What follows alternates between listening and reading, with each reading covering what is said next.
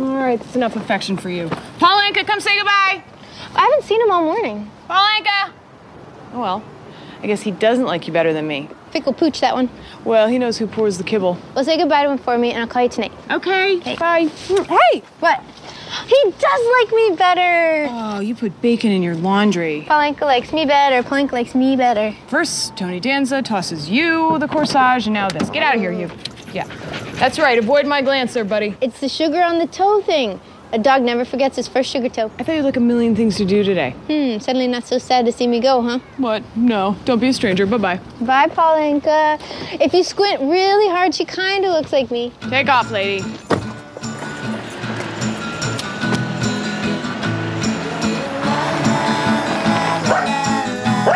Hey, Judas, get back here right now!